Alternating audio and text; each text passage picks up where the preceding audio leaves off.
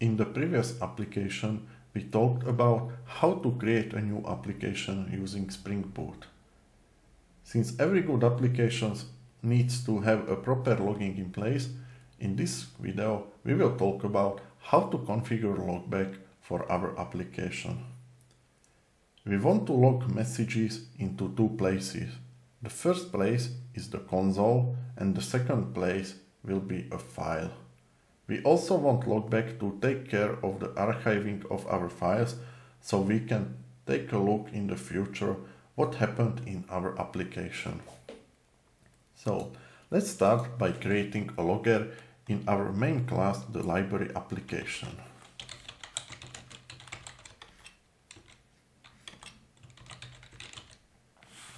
We can see that we already have a few logger classes available. It's because Logback is coming out of the box from Spring Boot, so we do not need to add any new dependencies. Let's use the logger class from the package org.slf4j. Now we want to create a new instance of this logger. To create a new instance of the logger, we will use the logger factory from the org slf4j package. The logger factory has a method called getLogger, which takes a class as an argument. The name of this class is used as the name of the logger. So let's use the library application.class so we know that the logger within the library application class was logging the message. Now, since we have a logger in place within this class, let's use this logger instead of the system out print line here. Log info hello world. On this line of code, we are logging the hello world message as an info. Let's try this out by running the application. We can see the hello world log message here. So it's working. But this is only in console. We also want to log into a file. For this, we need to do some configuration of the logback. The configuration for logback are done using a file called logback.xml. This file should be stored in the resources folder. From there, the logback can pick it up. So let's create the file logback.xml XML. This XML file has a configuration element as a root. Within this file, we need to configure the appenders, which are responsible for publishing the log messages into different destinations, and the loggers, which are responsible for collecting the messages. So let's start with creating the appender for publishing the messages into the console. For this, I will create an appender root element. This appender needs to have a name so we can reference it. Since it's publishing into the console, let's name it console. The appender also has to have a class which says what type of appender it is. We want to publish to console and for this we will use the console appender from package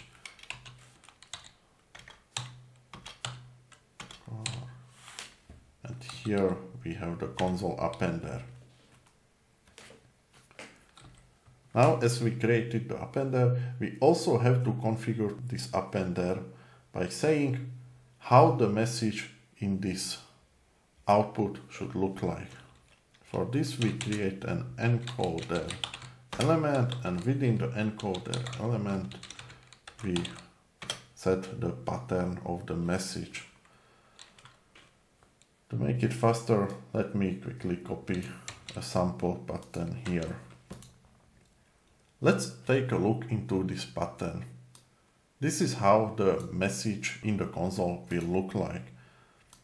The first part here says that at first we are printing the date and time when the message was logged.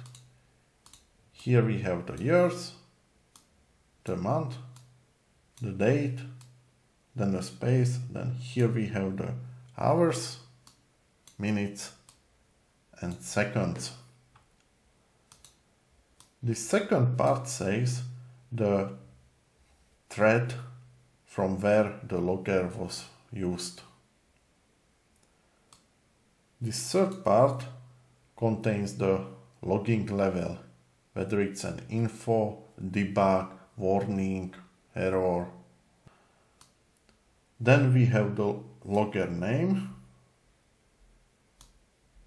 Then we have a message and a new line at the end. Now we have the console appender ready, but we need to assign this appender into some logger. There is a so-called root logger.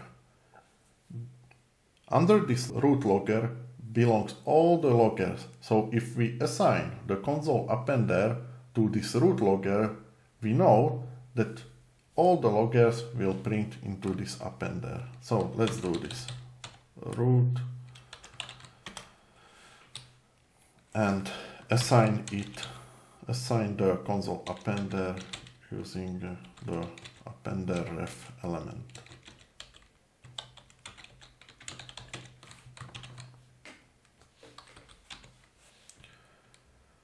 This reference name here has to be the same as the appender name.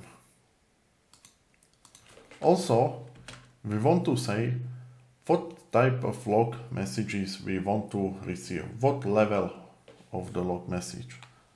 So, this can be configured using the level. And we want to log messages debug and below.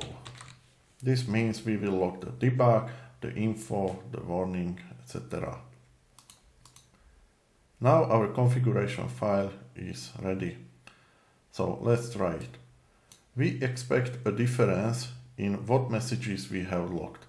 In the previous start, we seen that we have only info messages. Now we configure the root logger to log also debug messages, so we want to see the debug messages between these info messages. Let's start the application.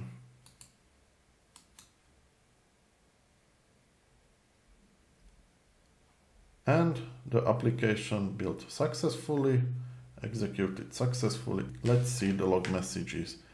Here we have the hello world info message, but we can also see the debug messages. This means that the configuration is correct. So we can print the log messages into the console now, but we also want to print the log messages into a file. For this, we need to create a new appender which will print to the file. And let's do this. Let's name this appender as a rolling file because we also want to roll it when some time is reached or some size is reached. This means that, for example, when we run the application the next day, we will create a new log file and the old log file will be archived. So for this purpose, we need to use an appender class called rolling file appender. It's located in the same package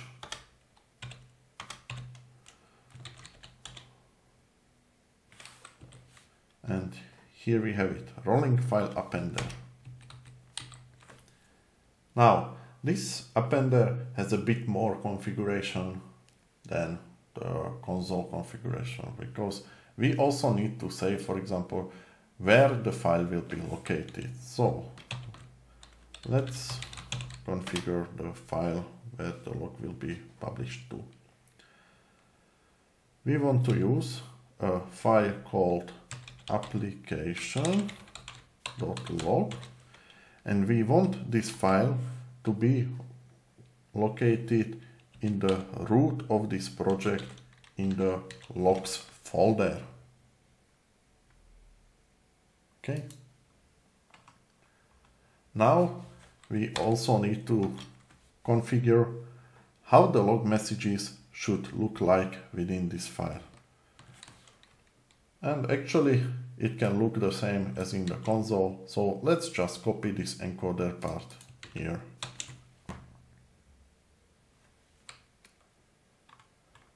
Now we have a code duplication because we see that the pattern is the same. So let's introduce a property which will store this pattern and so we can avoid the duplication.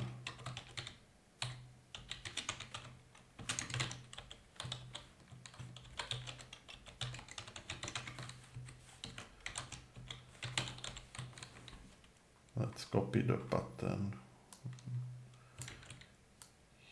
here we have the property.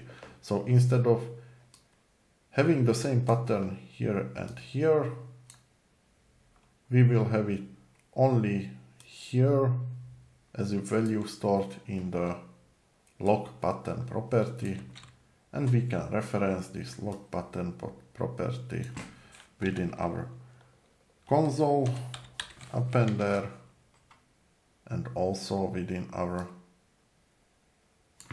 rolling file appender like this. Okay. Now we created the rolling file appender, but we also need to include the this appender to the root logger by adding the rolling file name as a reference.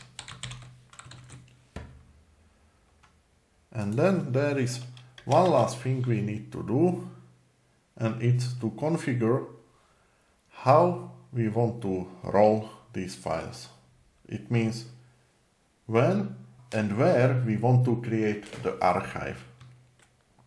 We can configure this by setting rolling policies.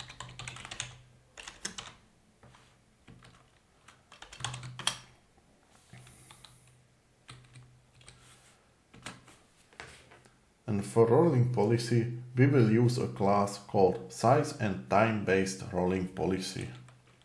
So let's use it.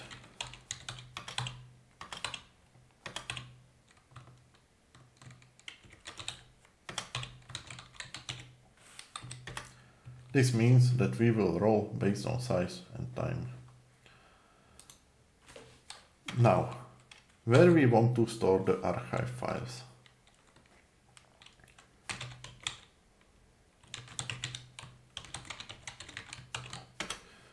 We configure it within the file name pattern. So we want to store them within the log folder we use also for the logs and within a subdirectory called archive. And here we specify the name of the archive file. So let's call it application.log. Let's call it application. And then we specify the date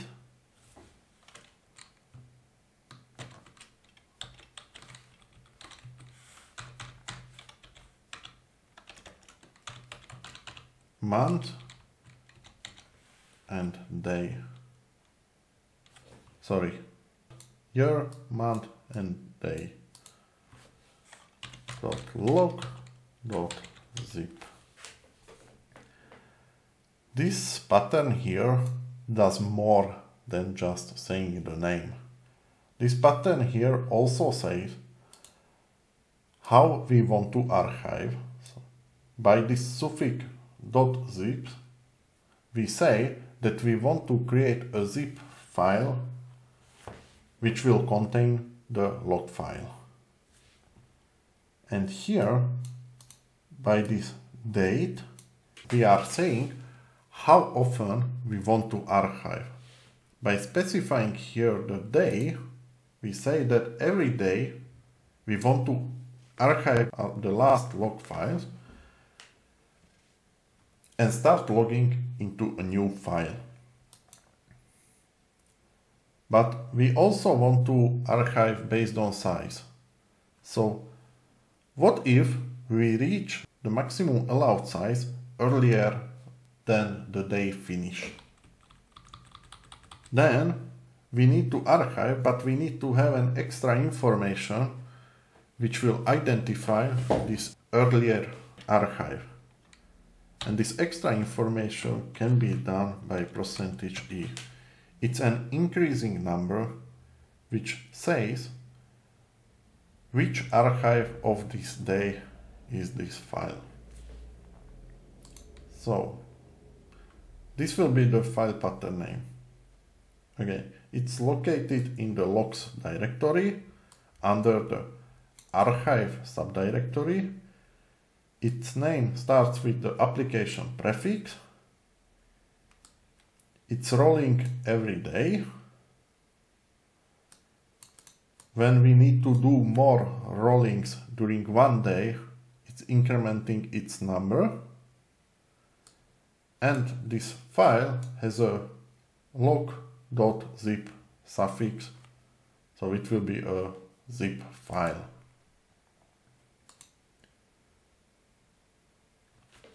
Now we need to set a few more settings because it's not just a time-based rolling policy, but it's also a size-based rolling policy.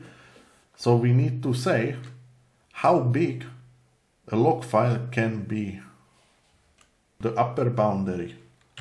We can say this by the max file size element.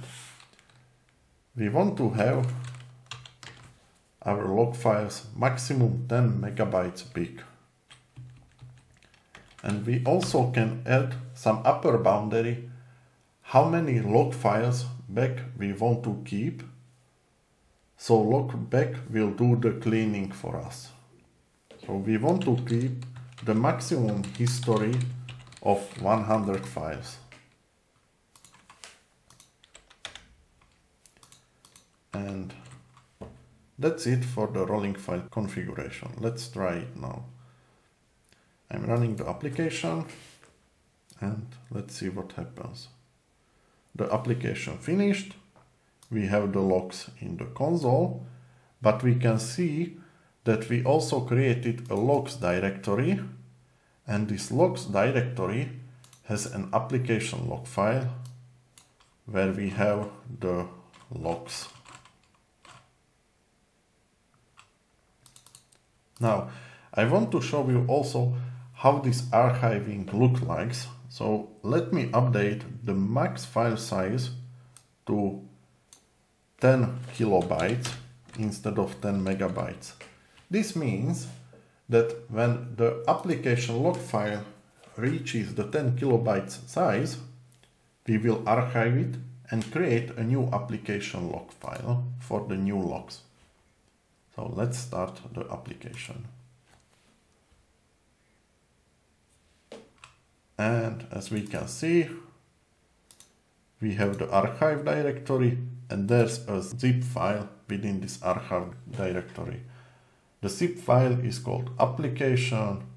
It's the log from date 2022, the December of 26, and it's the increment number of zero. So, so it's the first zip file from this day.